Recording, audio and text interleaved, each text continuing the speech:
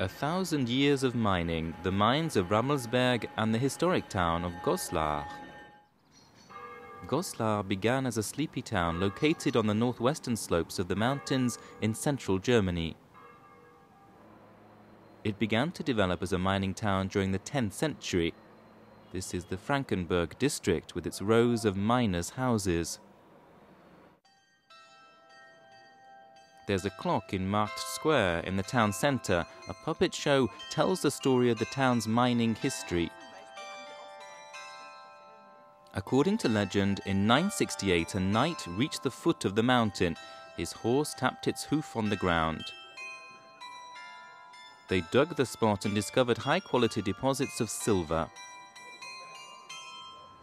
Silver mining began by order of Emperor Henry II.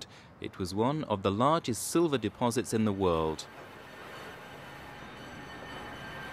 Originally a strip mine, mine workers gradually began cutting deeper into the ore, digging mine shafts. The biggest obstacle for mining in Rammelsberg was the huge quantity of underground water flooding into the shafts. A solution was found in 1250. A 10 meter wide water wheel was installed to pump out the underground water. The technological innovation brought further prosperity to the Rammelsberg mines. A statue of coins coming out of a man's buttocks humorously depicts the town's heavy production of silver coins. Henry II built an imperial residence to protect and maintain the town's prosperity. The Imperial Assembly of the Holy Roman Empire was held at the palace from 1009 to 1219. Goslar flourished as an economic center during those 200 years, producing silver coins widely accepted throughout Europe.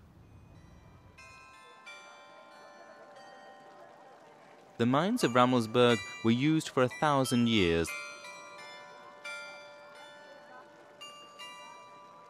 The last mine was closed in 1988.